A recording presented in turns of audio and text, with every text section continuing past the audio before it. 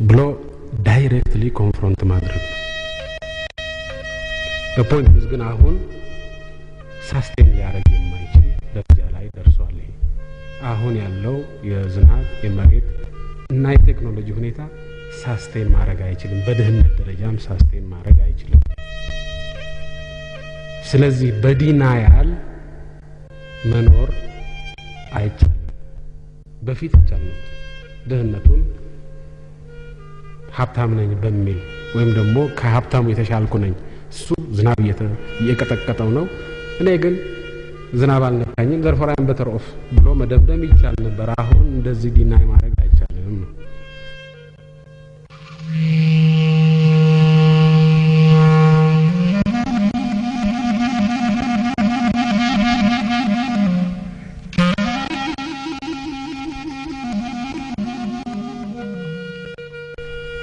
እያለ ድሃ አይደለሁም ብሎ መኖርም ይቻላል። ጥሩ ነው፣ ጥሩ አይደለም፣ ሌላ ጥያቄ ነው። ያ ድህነት መቀጠል እስከቻለ ድረስ በድህነቱ መኖር እስከቻለ ድረስ እንደ አማራጭ ሊወሰድ ይችላል። አሁን ግን በዛው በድህነቱ መቀጠል አልተቻለም። sustainable አልሆነም ድህነት። that is problem።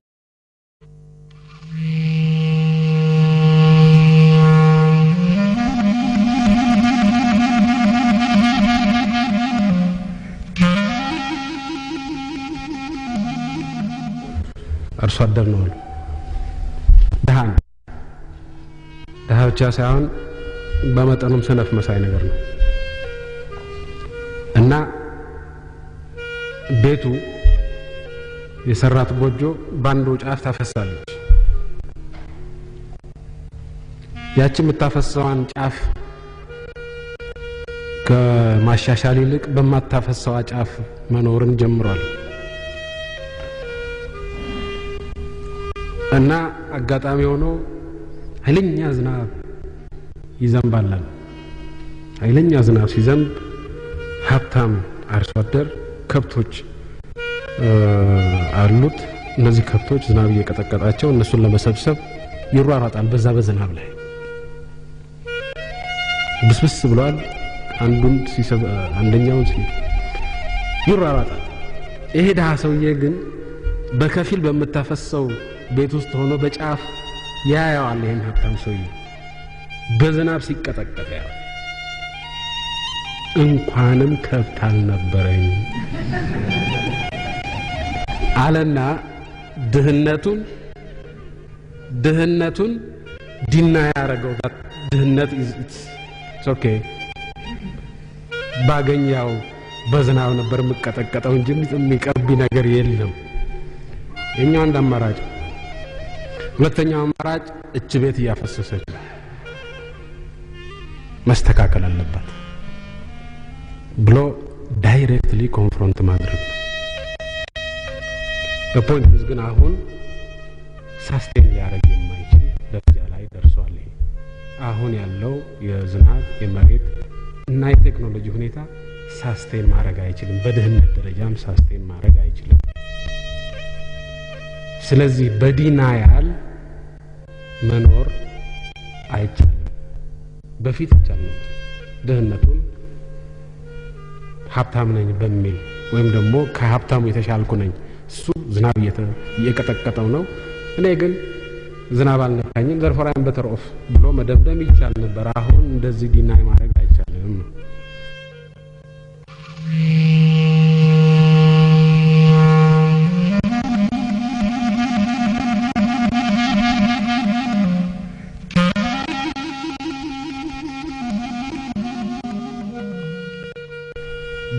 እያለ ድሃ አይደለሁም ብሎ መኖርም ይቻላል። ጥሩ ነው፣ ጥሩ አይደለም፣ ሌላ ጥያቄ ነው።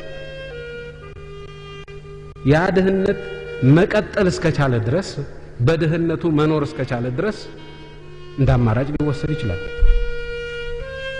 አሁን ግን በዛው በድህነቱ መቀጠል አልተቻለም። sustainable አልሆነም ድህነት። that is problem። ከኛ ጋር ነበረ። አሁን ግን በዛች በድህነት level ም መቀጠል የማይቻልበት ደረጃ ላይ ተደረሰ። that is difference። ይሄ ነው ልዩነቱ። ከዛሬ መቶ ዓመት ድህነትና የአሁኑ ድህነት የሚለያቸው ይሄ ነው። የድሮው ድህነት sustainable ነበር፣ መቀጠል ይቻላል። በዛ በ self sufficiency ውስጥ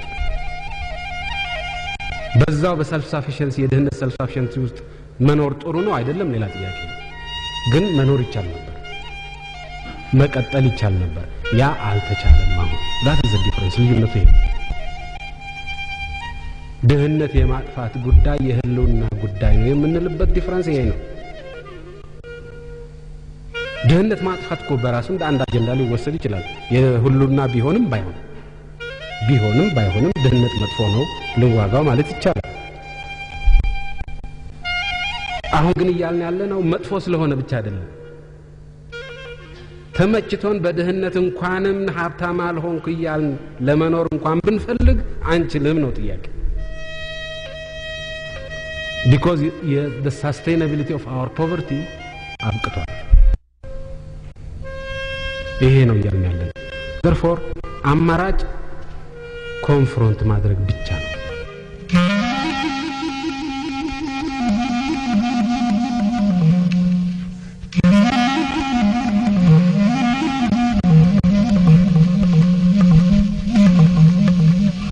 በፊት መለስተኛ ቁጥር ያለው ህዝብ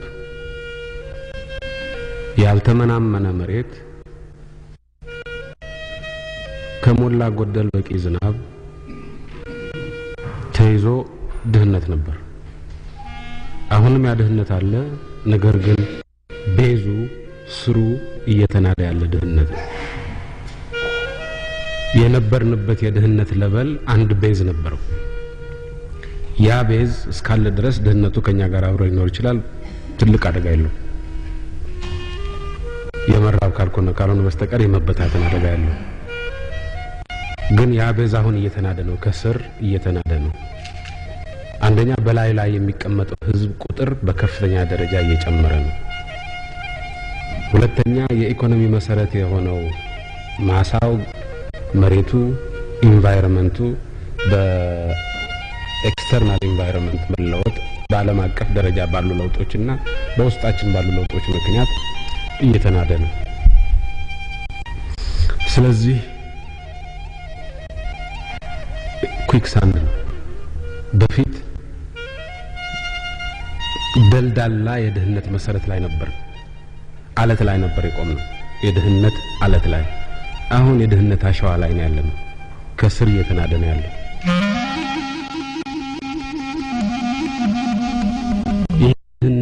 አፍጥጠን ካላየነው with all its ugly features ካላየነው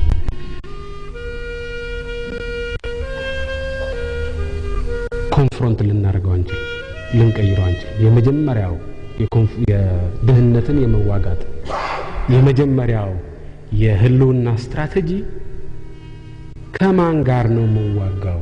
you have to know enemy። ያ ጠላት አለ ወይ? ምንድን ነው ይሄ? ድህነት ነው የህልውናችን ጠላት። ሌሎቹ ጠላቶች የዚህ ማጣፈጫ ናቸው እንጂ የህልውናችን አልቲሜት ፈታኞች አይደሉም ከተባለ ይሄ ዋነኛ ጠላት ምን ይመስላል? ቀይ ነው? ጥቁር ነው? ምንድን ነው የሚመስለው? ማወቅ አለብን። እኛው ብቻ አውቀ ነው የማይፈታ ከሆነ እያንዳንዱ ኢትዮጵያዊ ካላወቀው በስተቀር የማይፈታ ከሆነ ግን ጥሬ ሀቁን ማስቀመጥ አለማስቀመጥ በውስጣችን የመደበቅ ያለመደበቅ ጥያቄ እንደ አማራጭ የለንም ማለት ነው። because purpose ኡ ድህነትን መዋጋት ነው፣ ጥሬ ሀቁን ማስቀመጥ። አሁን ይህን ድህነት ለመዋጋት እኛ እዚህ ያለነው አመራር አመራር መስጠት አለብን። እዚህ ብቻችን ስንታመስ ብንከርም ግን ጠብ የሚል ነገር ማምጣት አንችልም። እያንዳንዱ አርሶ አደር የድርቅ እርዳታን በንብረትነት መዝግቦ በጋብቻ ውስጥ ከማስገባት ወይም ደግሞ እንኳንም ደሃ እንኳንም ሀብታም አልሆንኩ በዝናብ እቀጠቀጥ ነበር የሚለውን አመለካከት ወይም ደግሞ የእነዚህ መገለጫዎች በተለያዩ እነዚህን ተዋግቶ ካልተነቃነቀ በስተቀር አማራጭ የለም።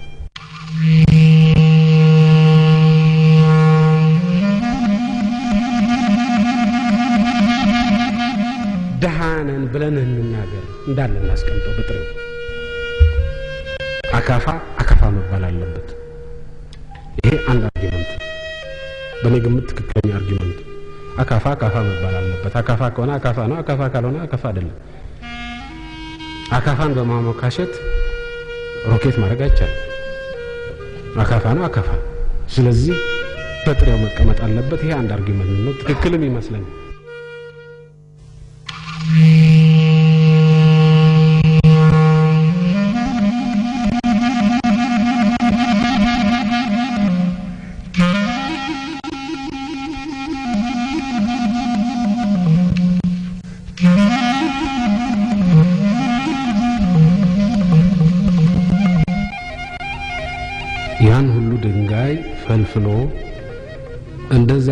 shape ያወጣ ህዝብ በምን ሂሳብ አሁን ድንጋይ መፈልፈል ቀርቶ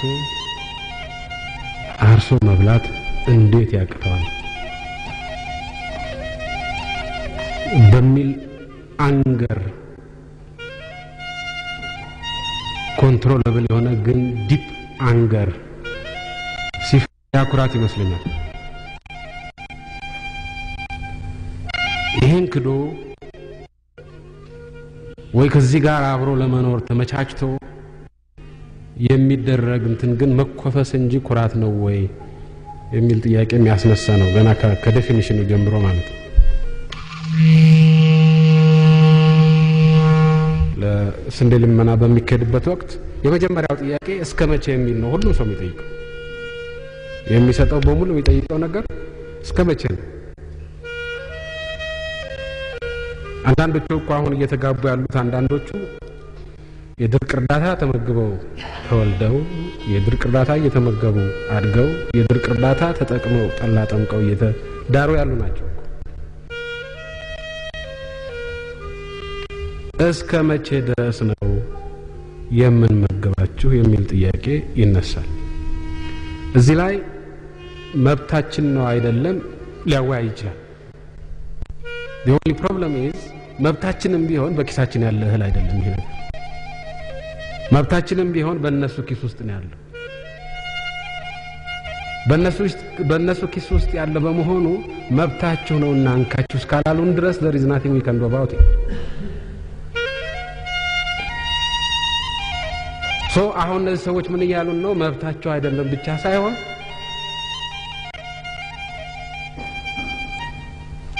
እስከ ዘለቄታው አንሰጣችሁም እያሉ ነው።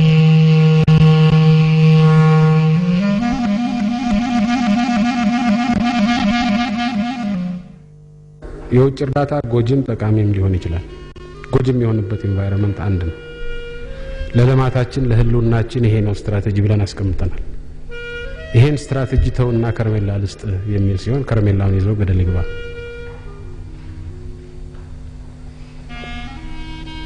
ይሄን ስትራቴጂ ሳይነካ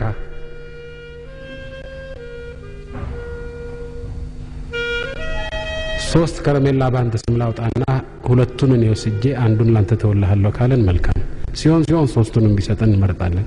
ካልሆነ ሁለቱን ቢሰጠን እንመርጣለን። ካልሆነ አንዱን ቢሰጠን እንመርጣለን። ካልሆነ የአንድ ግማሽ ቢሰጠን እንመርጣለን። so ልዩነቱ ያለው ስትራቴጂያችንን የሚጎዳ ነው የማይጎዳ ነው። እዛ ላይ ነው ማጠንጠኛው። የህልውና ስትራቴጂያችንን የሚነካ እርዳታ ሲመጣ ያ ለዘላለሙ እየለመን እንድንኖር እንጂ ከልመና እንድንወጣ አያደርግንም። ያ አያስፈልገንም። ያ ጎጂ ነው። ያን አንቀበልም። ያን መቀበል የለብንም። ድሃ ስለሆን የዓለም ጋርቤጅ በላያችን ላይ ይፍሰስ አይደለም እያልን ያለ ድሃ ስለሆንን እየፈሰሰ ያለውን ጋርቤጅ ለማውጣት፣ ለማጥፋት፣ ለመጥረግ ሌት ተቀን መረባረብ አለብን ነው እያልን ያለ ነው። እዛች ርብርብ ላይ አንድ ግራም ጉልበት የሚጨምር በሙሉ ወዳጅ ነው። እዛች ርብርብ ላይ አንድ ጋት ወደ ኋላ ጎትቶ የሚይዘን ሰው ጠላት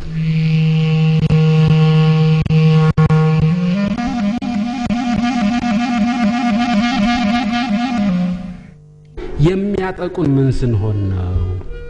ያ ነው ጥያቄ። የሚያጠቁን መለመን እስከቀጠልን ድረስ መለመን ስናቋርጥ መከላከል አቅማችን በዛው መጠን የውጭውን ጥቃት የመቋቋም አቅማችን በዛው መጠን ይጠናከራል። መልካም አስተዳደር ሲኖረን ፈርፍረው ገብተው በመካከላችን ቀዳዳ አግኝተው እንደ ልብ የመጫወት እድላቸውን እንዘጋዋለን ያለ ነው። ስለዚህ ጥያቄው ምንድን ነው? ከውጭ ጠላት ይሄን አውቆ እንዳይመታን ምንድን ነው የምናደርገው? እንኳንም ደሃ አልሆንክ ብለን ዲን ማድረግ ነው ወይስ ፋክቱን ተቀብለን ፋክቱን መቀየር ነው? እንዳያጠቁን ፋክቱ ነው የሚያስጠቃን ያለው ነባራዊ ሀቁ ነው የሚያስጠቃን። ሊያስጠቃንም የሚችለው እሱ ነው። ይሄን ነባራዊ ሀቅ ከቀየር ነው ወደዱም ጠሉም ምንም ሊያደርጓቸው። ይሄን ነባራዊ ሀቅ ካልቀየር ነው እኛ ስለደበቅ ነው ብቻ እኛ ራሳችንን ስላታለል ብቻ ያ ነባራዊ ሀቅ ህልውናውን ያጣል ማለት አይደለም። ያ ነባራዊ ሀቅ እስካለ ድረስ ተጠቂ ነው። ደበቅነውም አልደበቅነውም፣ ተናገርነውም አልተናገርነውም ተጠቂ ነው። የሚያድነን ያን ነባራዊ ሀቅ መቀየር ብቻ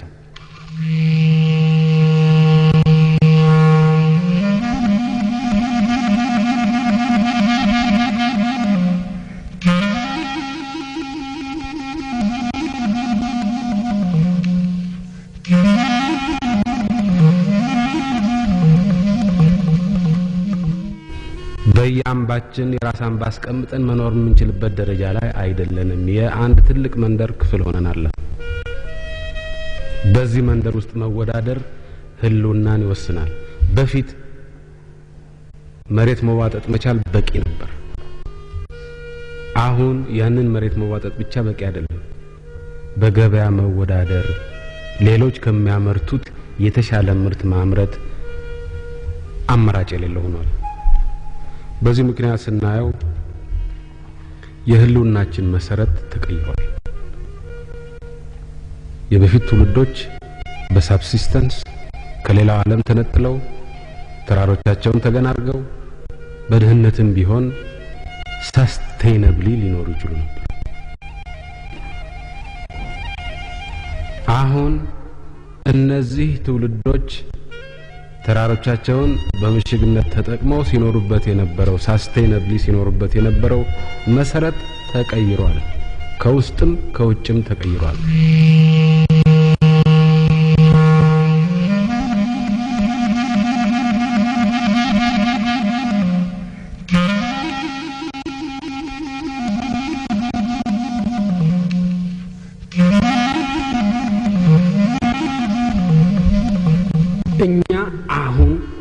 ለመልማት እንነቃነቅ ብንል በሩ ተቀርቅሮብናል፣ አልተቀረቀረብንም።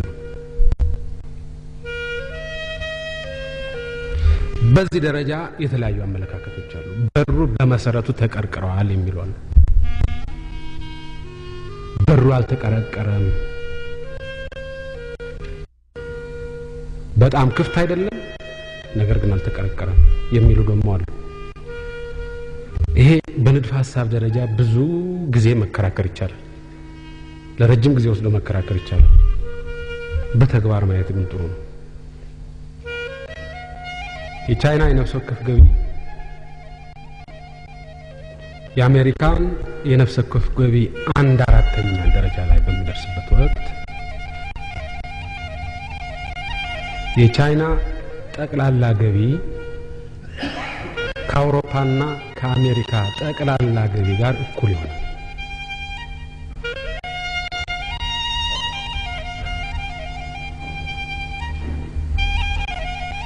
በዚህ ሁኔታ የዓለም የኢኮኖሚ ኃይል ሚዛን ፋንዳሜንታሊ ይቀየራል። የቻይና ልማት ይህን ያህል ትርጉም አለው።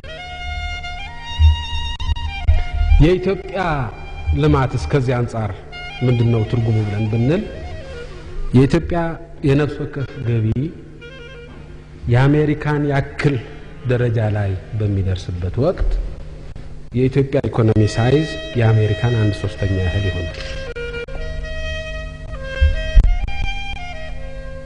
ወደ 250 ሚሊዮን ህዝብ አላቸው። ወደ 70 ሚሊዮን ህዝብ አለን። 70 የ250 በማጠጋጋት አንድ ሶስተኛ ይሆናል። ስለዚህ የእነሱን ያህል ብሔራዊ ገቢ ቢኖረን የእነሱ አንድ ሶስተኛ ኢኮኖሚ ይኖረናል። ቻይኒዞች ግን የእነሱ አንድ አራተኛ ገቢ ካላቸው አሜሪካ ብቻ ሳይሆን የአውሮፓንም ሕዝብ ጨምሮ እኩል ይሆናል ኢኮኖሚያቸው ሳይዙ። እነዚህ ሰዎች ልማት መቀርቀር ካለባቸው ስንንጠራራ ውለን ስንንጠራራ ብናድር እነሱ ደረጃ ላይ ብንደርስ የእነሱን አንድ ሶስተኛ ምን ሆነውን?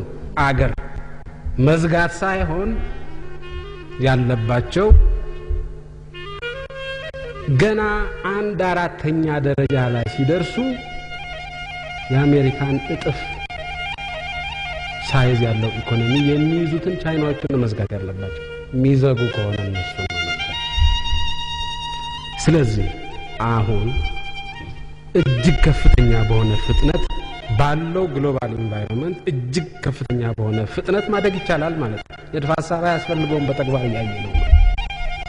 የውጭው environment ምን ያህል መጥፎ ቢሆን የተቀረቀረ አይደለም፣ የተዘጋ አይደለም። በዚህ በቀዳዳ ውስጥ አልፎ መሄድ የሚችል ሰው ይጠይቃል። አልፎ መሄድ የሚችል ሀገር ይጠይቃል። አልፎ መሄድ የሚችል ስትራቴጂ ይጠይቃል። ነገር ግን አልፎ መሄድ ይቻላል።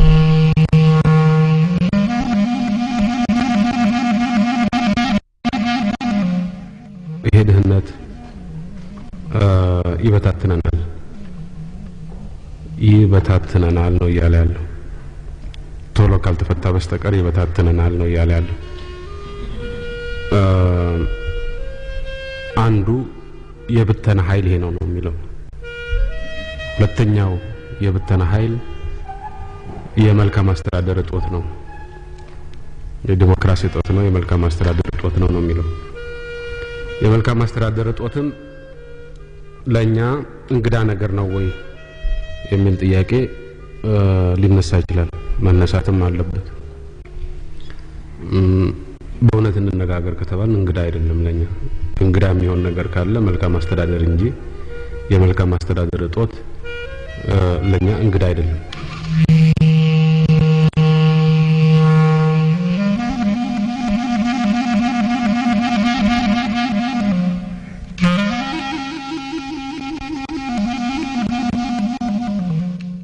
sinking ship ውስጥ ያለው logic የእያንዳንዱ ግለሰብ for himself ነው። ይሄ ደግሞ የመበጣጠስ ተራ የመባላት logic ነው። አፍጋኒስታን ላይ አይተነዋል፣ ሶማሊያ ላይ አይተነዋል፣ ላይቤሪያ ላይ አይተነዋል፣ ሴራሊዮን ላይ አይተነዋል፣ ሌሎችም ሀገሮች እያየ ነው ነው ይህን logic ነው እያነሳን ያለ ነው እዚህ ውስጥ። ስለዚህ አንዱ መነሻችን ምንድን ነው? ይሄ አደጋ አለ። ይሄ አደጋ ሌሎች ነገሮች ምንም ቢሆኑ ይሄ አደጋ እስካልተቀረፈ ድረስ ሌላው በሙሉ ሚኒንግለስ ነው፣ ምንም ትርጉም የለውም። ከኖርክ በኋላ ነው ሌሎች ነገሮች ሁሉ ትርጉም የሚኖራቸው።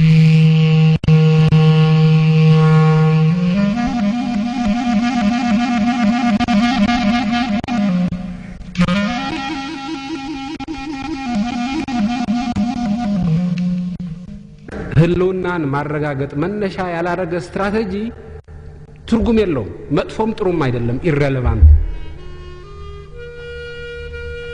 irrelevant so አሁን ኢህአዴግ ህልውናን ለማረጋገጥ ከኢኮኖሚ አንጻር አንድ ስትራቴጂ አምጥቷል። relevant ነው።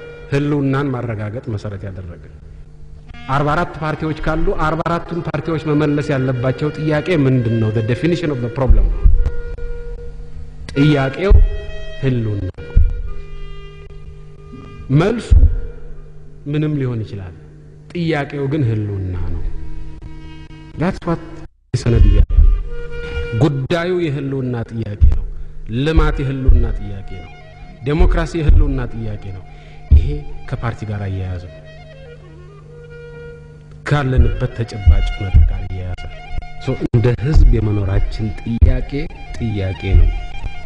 እንደ ህዝብ የመኖራችንን ጥያቄ መመለስ የውጭ ጉዳይ፣ የኢኮኖሚ፣ የሙዚቃ፣ የድራማ ፖሊሲዎቻችን ሁሉ መኖርን ማረጋገጥ የሚችሉ መሆን አለባቸው ነው።